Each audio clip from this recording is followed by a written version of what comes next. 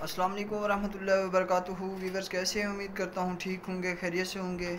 मेरा नाम है डॉक्टर अनसर अब्बास और आप देख रहे हैं YouTube channel Alshifa clinic health advisor सबसे पहले रिक्वेस्ट करूँगा, अगर आप मेरे चैनल पर नए हैं तो मेरे चैनल को सब्सक्राइब कर दें और साथ में दिए गए बेल आइकन को प्रेस कर दें, ताकि हर आने वाली नई वीडियो आप तक बसानी पहुँच सके। इस वीडियो में हम बात करेंगे उन बच्चों के बारे में, जो कि बोखलाहट का शिकार शिकार होते हैं, हकलाहट का शिकार होते हैं अटक अटक कर बोलते हैं उसकी क्या काजेज़ हो सकती हैं, उसकी वजूहत क्या हो सकती हैं? किस वजह से बच्चे को इस बीमारी का सामना करना पड़ता है? क्या ये एक बीमारी है? और इसका हल क्या है? अगर किसी बच्चे को ये तकलीफ़ हो रही है अटक अटक कर बोल रहा है तो उसकी ट्रीटमेंट क्या है? और इस हवाले से बात करेंगे। व्यूवर्स, अगर बात करें कि बच्चा अगर अटिक अटिक बोल रहा है तो सबसे पहले उसको डायग्नोज घर में करें। घर में देखें कि अगर बच्चा बात करते हुए अजिक रहा है या एक ही बात को लंबा करके बोल रहा है तो उसका ज़रूर मसला है। या तो उसको कोई दिमागी चोट लगी है, ब्रेन पर चोट लगी है, चोट लगने की वजह से ऐसे मसाइल पैदा हो सकते हैं, या इसके अलावा दूसरी बात यह है कि ऐसे देखें कि उसको कोई जेनेटिक जेनेटिक इशू तो नहीं है, उसके घर में, उसके वालदेन को कोई प्रॉब्लम तो नहीं है, जो कि बोखलाहट का शिकार हूँ या अटक अटक कर बोलता हूँ या एक ही बात को लंबा करके बोलता हूँ तो ऐसा अक्सर अवकात होता है कि जेनेटिक इशू की वजह से ये मसाइल पैदा होते हैं। उसके बाद ये देखें कि बच्चे का जो उठना, बैठना, चलना, फिरना है, वो किन बच्चों के साथ है?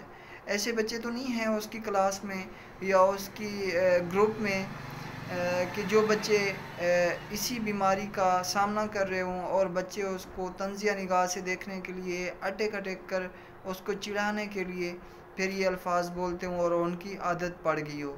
या इसके अलावा कोई एग्जैक्टी या डिप्रेशन का शिकार हो जाते हैं बच्चे, उसकी वजह से भी ये मसाइल पैदा हो सकते हैं। इसके अलावा अक्सर अवकात हार्ट बीट बच्चे की तेज़ हो जाती है हार्ट रेट यानी कि दिल की जो धड़कन है, वो बहुत ज़्यादा तेज़ हो जाती है। तेज़ होने की वजह से भी ये मसाइल पैदा हो सकते हैं। अगर ये मसाइल वक्ती तौर पर पता चल जाए बच्चे की मतलब एक साल से पाँच साल की उम्र में या पाँच साल से छः साल की उम्र में, इस एज में अगर इस बीमारी को डायग्नोज कर लिया जाए, पता चल जाए कि बच्चे को किस वजह से ये मसाइल पैदा हो रहे हैं तो उसकी ट्रीटमेंट करना, उसका इलाज करना बहुत ही आसान होता है और जल्द ही बच्चा रिकवर हो जाता है। अदरवाइज़ अगर ये बच्चा लंबे अरसे तक रहता है अडल्ट में, यानी कि अडल्ट एज में जब चला जाता है, बड़ा हो जाता है, अठारह साल से या पंद्रह साल से ऊपर की एज में जब चला जाता है तो उसकी ट्रीटमेंट करना, उसके जो वोकल कार्ड हैं, आवाज़ पैदा करने वाले आला है उसको सही करना। बाज़ का ऐसा होता है, जो हमारे वोकल कार्ड हैं, गले में होते हैं, जिससे हम बोलते हैं, जिससे आवाज़ निकालते हैं, उसके ऊपर इन्फ्लामेशन हो जाती है स्वेलिंग हो जाती है, उसकी वजह से भी ये मसाइल पैदा हो सकते हैं। या इसके अलावा अक्सर बच्चे को नज़ला, ज़ुकाम, कफ़ रहती है, कफ़ की वजह से भी ये मसाइल पैदा हो सकते हैं। लेकिन सबसे पहले डायग्नोज कराना लाजमी है कि बच्चे को ये मसाइल किस वजह से पैदा हो रहे हैं? क्या वो जेनेटिक इशू की वजह से हैं? क्या उसकी क्लास में ऐसे बच्चे हैं जो कि अटक अटक कर बोलते हैं और बच्चे उसको चिढ़ाने के लिए ऐसा करते करते उनके भी आदत हो गई है? या इसके अलावा बच्चे को कोई दिमाग के ऊपर चोट नहीं लगी जिसकी वजह से ये मसला पैदा हो रहा है? अब अगर देखें कि इसकी वजह से बच्चे को क्या कुछ आ, सामना करना पड़ता है? आ, क्या कुछ बच्चा मसाइल का सामना कर सकता है। फ़र्स्ट ऑफ़ ऑल तो ये देखें, ऐसे बच्चे स्टडी में बहुत ज़्यादा पीछे होते हैं। हालाँकि उनको हर एक बात आती है, हर एक सवाल का जवाब आता है, हर चीज़ नोट करते हैं, हर चीज़ का पता होता है।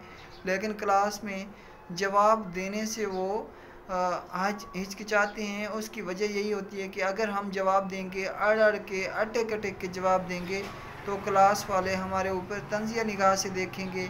या हंसेंगे या हमारा मज़ाक उड़ाएँगे, इसकी वजह से बच्चा डिप्रेशन का शिकार हो जाता है टेंशन का शिकार हो जाता है एग्जैटी का शिकार हो जाता है, जिसकी वजह से बच्चा जवाब नहीं दे पाता और क्लास से आगे नहीं जा पाता और स्टडी में सबसे पीछे रह जाता है। और उसकी मेन वजह यही होती है कि बच्चा जो है ना डिप्रेशन का शिकार हो जाता है, शर्माता है कि अगर मैं अटक अटक कर जवाब दूँगा तो मेरी क्लास में मेरा मज़ाक उड़ाया जाएगा।